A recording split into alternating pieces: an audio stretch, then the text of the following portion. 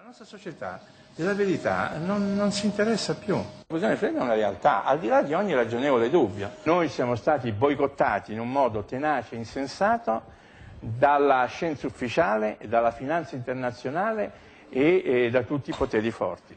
Sono circa 100 i fisici che in tutto il mondo non hanno mai smesso di credere che la fusione fredda fosse la scoperta scientifica del secolo. Qui a Milano, in via Ampere, c'è un piccolo laboratorio dove Martin Fleshman continua a lavorare insieme ad altri due fisici italiani e saranno i protagonisti della nostra puntata, gli eretici della fusione fredda.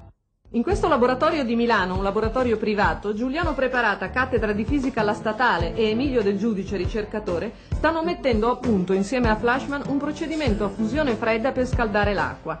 Ma prima di entrare nel vespaio proviamo a capire come avviene il processo di fusione. Il problema fondamentale della fusione è che per arrivare a distanze così vicine il, uh, i nuclei devono, uh, devono, superare una grossa barriera che c'è fra di loro per il fatto che tutti i nuclei hanno la stessa carica, sono cariche positive. Quindi noi sappiamo dalla fisica della scuola secondaria che due cariche dello stesso segno si repellono, si respingono e quindi dobbiamo vincere questa repulsione. Per vincere questa repulsione si crede che nelle stelle questo avvenga attraverso, attraverso le alte temperature e le pressioni che esistono nel centro delle stelle. Quindi si vince questa repulsione, questa barriera e poi e quindi eh, viene fuori tutta questa energia. Naturalmente questa è la fusione calda, perché si chiama calda? Perché si usa l'agitazione termica ad altissime temperature per vincere questa barriera, per poi accedere a questa energia. La fusione fredda invece eh, vince questa barriera, e questa è la scoperta di Fleischmann e Pons, non eh, mettendo questi nuclei in una matrice metallica, dentro un metallo. Quando sono dentro un metallo, come il palladio, questi nuclei, sono in grado di avvicinarsi tanto da cominciare a fondere, senza bisogno alcun bisogno di arrivare a queste enormi temperature a cui devono arrivare queste altre macchine di cui parlavamo prima, la fusione calda, questi tokamak. Qui l'equivalente del reattore è quindi questa cella dove è inserito un filo di palladio avvolto a spirale, quello colore argento, e acqua pesante, cioè un'acqua dove al posto dell'idrogeno c'è il deuterio, quella parte su 6000, e mediante l'elettrolisi si determina un eccesso di calore. La cella poi viene messa dentro questo calorimetro. Noi la mettiamo qua dentro perché vogliamo misurare la quantità di calore che si produce in questo processo. Da questo tubo entra dell'acqua e l'acqua passando si scalda perché questo oggetto produce, produce calore, produce energia e scaldandosi riscalda, eh, manda fuori dell'acqua da questo tubo a una temperatura maggiore di quella in cui entra. Può toccarla, quest'acqua è calda calda. È calda. Naturalmente non è la sensazione di un dito che misura l'eccesso di calore. I rilevamenti sono fatti col computer collegati al calorimetro. Ma quello che stupisce è che abbiamo sempre visto uscire energia da centrali enormi e questa possibilità ha dell'incredibile, perché il primo conto che viene da fare è ma quanto costa? Io prendo un affare di questo genere che potrà presto arrivare a diciamo 10 kW un insieme di questi. Per far questo mi servirà un grammo di palladio. Un grammo di palladio costa dell'ordine, dell sul mercato dell'ordine di eh, 15-20 mila lire. Uno. Mi costa un grammo di palladio e ho bisogno per esempio di un litro di acqua pesante che ai costi di oggi costa 4-450 mila lire al litro. Questo oggetto potrà darmi 10 kW che è l'energia necessaria a far funzionare una, un, un, un, appartamento, cioè voglio dire un appartamento grande, 10 kg, per eh, un tempo dell'ordine di 500 anni. La cosa formidabile è che questa è, è, una, è un'energia di cui praticamente inesauribile, perché una parte su 6.000 dell'acqua è acqua pesante. La sola domanda che ci si può porre è chi potrebbe volere il successo di questa ricerca? È una domanda per niente semplice ed è comprensibilissimo che alcune persone non vogliono che questi esperimenti abbiano successo.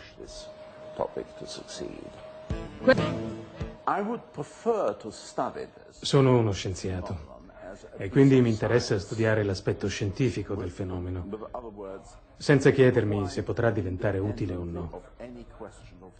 Tuttavia, nel nostro caso, credo che uno dei problemi di questa ricerca sia dovuto al fatto che è abbastanza chiaro che potrebbe avere un forte impatto economico, ma non è detto che l'avrà. Potrebbe. Già, è il famoso 2 più 2 che verrebbe da fare anche ad un profano. Ma perché anche la scienza ufficiale, ovvero quello che ruota attorno ai comitati scientifici o ai Rubbia, non tiene in minima considerazione esperimenti che costano due lire così promettenti? Ho provato a chiederlo a Rubia, che mi ha risposto con un fax dal CER di Ginevra. Sono spiacente di comunicarle che il professor Rubia non è interessato a commentare le dichiarazioni di Giuliano Preparata. Quando la scienza aveva pochi mezzi, in fondo abbandonare una teoria che si rivelava sbagliata non era un gran danno. Insomma, i danni erano soltanto al narcisismo di chi eventualmente l'aveva proposta. Ma quando ci sono grandi capitali in gioco, Scoprire all'improvviso che è tutta sbagliata una certa prospettiva significa un enorme eh, disinvestimento di capitali, significa migliaia di persone che perdono il loro posto di lavoro e così via. Insomma, intorno alla fusione calda ci sono interessi economici colossali e migliaia di persone che ci lavorano. E cosa ancora più grave, esiste un progetto del governo italiano di ospitare in Italia una enorme macchina mondiale, questa realizzata da tutti i paesi del mondo, che si chiama ITER, International Thermonuclear Reactor, Experimental Reactor, che dovrebbe costare qualcosa come 30.000 miliardi in 10 anni, cifra diciamo conservativa. Perché è una cosa grave questa? È perché queste macchine, a parte il fatto che difficilmente funzioneranno, non sono affatto pulite cioè cosa dovrebbero dare queste macchine? In, secondo i progetti dei loro autori dovrebbero dare energia. Senta, ma se è un gravissimo errore perché l'Italia sta investendo tutti questi soldi? Perché appunto, come spiegava Emilio un momento fa, un momento fa gli interessi sono talmente grossi sia di una grossa comunità di scienziati che stanno lavorando a queste cose, sia delle grandi, delle grandi industrie che devono fornire pezzi, eccetera. Non è un caso che in questa commissione di ITER il, il, eh, il presidente sia il, un direttore centrale della Finmeccanica, che attraverso l'Ansaldo spera di avere grossissime commesse nella realizzazione di magneti superconduttori, fibre, cose del genere, che sono necessarie a mandare queste cose. Quindi diciamo, questo business drogato eh, fa l'interesse di un certo ceto industriale scientifico ma sicuramente secondo me non fa interesse ai cittadini. L'attenzione del mondo quindi è rivolta alla fusione calda, a ITER, che si studia a Monaco, in questo centro di ricerca che si chiama NET, diretto da un fisico italiano, il professor Toschi. L'Italia ha dimostrato interesse a ospitare questo grande progetto nell'Italia meridionale. E ci sono... Come mai nell'Italia meridionale? Ci sono delle sovvenzioni in base? Esattamente, perché c'è le sovvenzioni dei fondi strutturali della comunità europea. E sarebbe questo qui il reattore che dovrebbero costruire in Italia? Per avere accesso ai fondi strutturali bisogna soddisfare certe condizioni sulla qualità del progetto che lei presenta. I fondi strutturali, lei lo sa, della comunità europea, che sono una cifra gigantesca, serve per dare sviluppo a certe zone depresse della, dell'Europa. No, questo, su questo siamo d'accordo. Eh, allora, eh, non è che una piccola ricerca possa essere suscettibile di, di finanziamento dai fondi strutturali questa potrebbe essere in parte perché intorno a un'impresa di questo genere lei potrebbe veramente, a parte dal punto di vista occupazionale, avere migliaia di persone che ci lavorano, c'è un certo indotto per le industrie che potrebbero lavorare per questo tipo di imprese, perché deve capire che questa cosa, se venisse fatta, deve durare vent'anni. Per il momento voi non sapete ancora se quel motore lì produrrà energia, giusto? Non, sappiamo, non abbiamo quella certezza di cui uno ha bisogno quando chiede un finanziamento di 10 miliardi di dollari. In sostanza, per accedere ai grandi finanziamenti abbiamo capito che occorre un progetto imponente. La fusione fredda invece non possiede questi requisiti perché gli esperimenti costano poco. Costa pochissimo, non servono questi grandi investimenti e che, nuova, e che noi abbiamo portato un pezzetto di sole qui a Via Ampere, in questo oggetto qua. Ma per avere anche quel poco occorre l'avallo della scienza ufficiale che invece ha preso le distanze. E così la cosa va avanti semi-clandestina sulla volontà e la convinzione di singoli. Perché la scienza è diventata, è ritornata a giocare quel ruolo che giocava l'Accademia all'epoca di Galileo. Cioè? Era diventata, è ridiventata una stretta ancella degli interessi economici e di potere. E ritorniamo all'Enea, il nostro ente per l'energia alternativa. A mezzo chilometro di distanza dagli edifici dove si studia la fusione calda c'è un ripostiglio che è un piccolo laboratorio dove due fisici guidati dal professor Scaramuzzi lavorano alla fusione fredda. Solo il luogo in cui è ubicato la dice lunga sulla considerazione di cui gode questa ricerca. Non è un laboratorio come quelli del CERN di Ginevra? No. Eh? Assolutamente sì. Diciamo un'altra scala. Cioè serve poco per fare energia qua dentro, è vero? serve poco per fare questi esperimenti. Quello che vediamo dentro la cella è un esperimento in corso, sempre con il palladio e l'acqua pesante. Qui ci sono stati casi di presenza di elio 4, una scoria con una radioattività pari al fondo naturale che confermerebbe quindi che si tratta di fusione nucleare. Queste apparecchiature invece servono a misurare la quantità di energia che si produce. Quanti watt riuscite a produrre? Per citare il migliore dei risultati, in genere si cita sempre il migliore dei risultati, degli anni scorsi, eh, noi abbiamo avuto un esempio in cui abbiamo prodotto una potenza che è variata da un, da un watt fino a 11 watt nel giro di tre giorni, per una durata ininterrotta di tre giorni. E quando producevamo 11 watt nel sistema entravano solo 8 watt, quindi stavamo producendo più energia di quanta ne entrasse. E questo è un fatto abbastanza rilevante. Cioè, eh, quello un... che vedete con i vostri eh, esperimenti sì, parte da lì. Parte da, da qua quando noi eh, sottoponiamo questo oggetto al, al, procedimento sperimentale di cui le stavo parlando, questo oggetto produce un eccesso di, di energia. Di, di calore. Esatto, di sì. Adesso puntiamo più alla riproducibilità che alla quantità di calore prodotto perché vogliamo capire quali sono le, le condizioni del materiale che rendono possibile questo fenomeno. Quindi i punti deboli sono che non sempre si riesce a riprodurre non sempre ci sono le scorie e per gli scettici è più che sufficiente per liquidare in tronco tutta la fusione fredda. Non si può parlare di fusione nucleare perché non ci sono le indicazioni necessarie, come l'emissione di neutroni o l'emissione delle particelle alfa, oppure trasmutazione di elementi. Nessuna di queste cose è stata osservata. Nulla. Non siamo nel campo della fisica, a parte il fatto che questo andrebbe a stravolgere gran parte della fisica del XX secolo. Non si può dimostrare che una cosa è vera, si può solo dimostrare che una cosa è falsa. Ma finché non sei riuscito a dimostrare che è falsa, quel qualcosa rimane vero. Credo che non, chi, quelli che si occupano oggi possono confermarle che non c'è una spiegazione soddisfacente dal punto di vista teorico dei fenomeni fisici che starebbero alla base di quello che loro misurano. Il secondo guaio grossissimo della fusione fredda è la non riproducibilità. Il fatto di richiedere a uno stadio molto, molto poco avanzato la riproducibilità è un modo per, per, per, per chiudere il sistema.